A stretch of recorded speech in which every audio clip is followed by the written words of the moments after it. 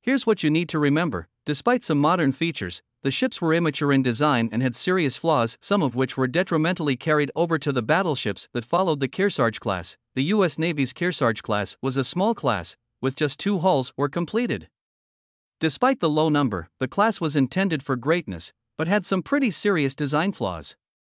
Good intentions, the Kearsarge class had some improvements compared to the battleships that preceded it. They were better armored, were faster, and had larger, faster firing guns arranged in a novel double deck turret arrangement, but there were some serious design flaws that doomed the class. Because the gun turrets had vertical rather slanted walls, the 13 inch gun ports had to be particularly large to give the guns the necessary elevation for distance shots.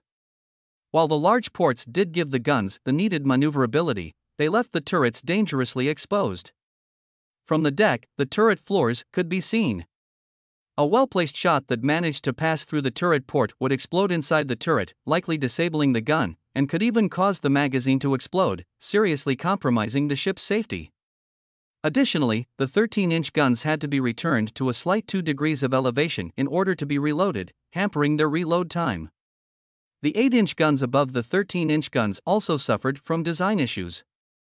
Along with the 13 inch main guns, they had been designed prior to smokeless powder and were intended to use brown powder propellant. With the introduction of smokeless powder, the volume of needed propellant per shot decreased, and the rate of fire correspondingly increased.